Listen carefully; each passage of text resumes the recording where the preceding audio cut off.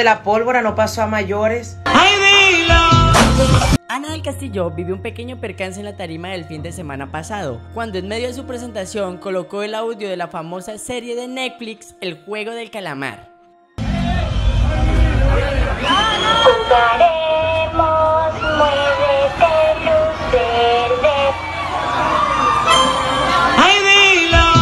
Chorro de chispa utilizado en el concierto para embellecer el espectáculo le cayó muy cerca a la cara, lo que provocó la preocupación de sus seguidores.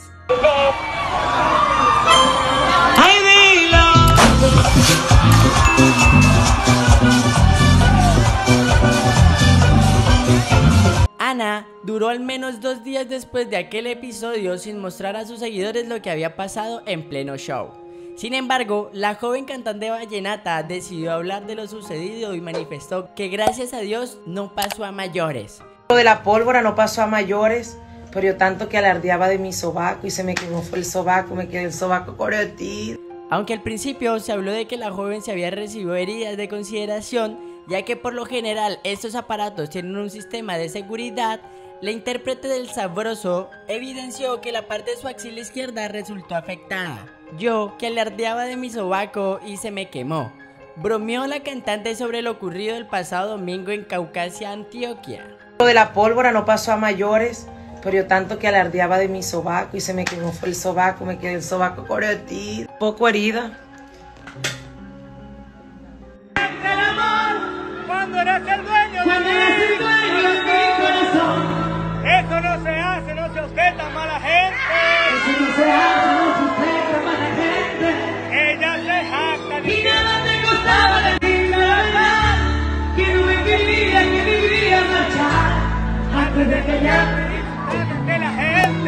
Un chorro de chispa utilizado en el concierto para embellecer el espectáculo le cayó muy cerca la cara, lo que provocó la preocupación de sus seguidores. Y entonces, ¿qué le digo al corazón?